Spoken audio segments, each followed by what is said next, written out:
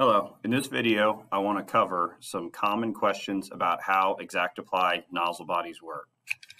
So if we were looking at this mounted on the sprayer, the clamp goes towards the front, the solenoid that's on the left is solenoid A, solenoid on the right is solenoid B, and then we have nozzles numbered around the entire turret.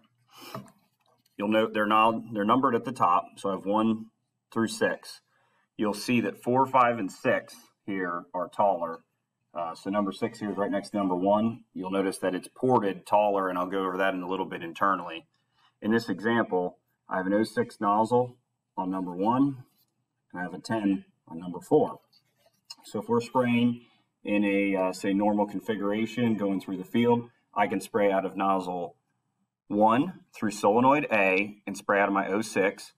With a push of a button, I could flip to solenoid B and be spraying out of my number 10 nozzle in the back, or I can spray out of both of them combined for an effective 16 nozzle and it'll pulse back and forth between the two at 30 hertz. Each solenoid is capable of 15 hertz max pulsing and a gallon and a half per minute, 1.5, out of the actual solenoid bodies.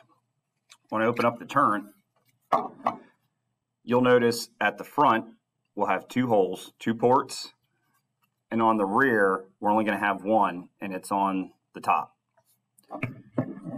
When we look inside at our turret, you're looking at number one right now, right here. There's only one hole, and it's on the bottom. When I get around to four, five, and six, there's two ports for each of those, top and bottom. So if you imagine that, when we have this on in this situation,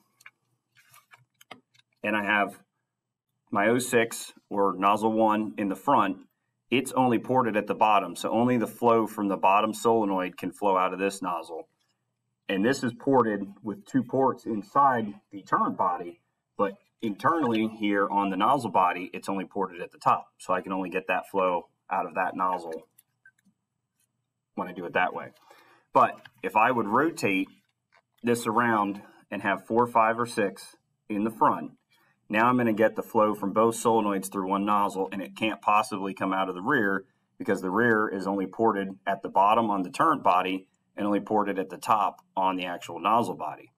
So when we switch it around to this mode, I can get the flow out of both solenoids, so a gallon and a half each, three gallon a minute total, 15 pulse, 15 hertz pulsing both, so I can get 30 hertz pulsing out of one single nozzle. When you flip it around or configure it with number four five or six in the front virtually on the screen, it's automatically going to go to A and B combined and know that's how you want to spray. And that's when you're doing higher rates, uh, when you want to side dress, do things like that, you know, 40, 50 gallon that you want to put down.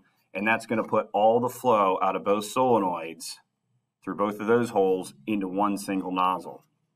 Any other configuration where I have one, two, or three in the front, it's going to want the smaller nozzle to always be in the front, or you can run two of the same nozzle and then run them combined. But it's always going to spray either A, B, or A and B combined, but it's going to come out of both nozzles. So I hope that clarifies a few things, that a lot of common questions I get about ExactApply nozzle bodies and how you need to configure them virtually on the screen and physically back on the boom. Thank you.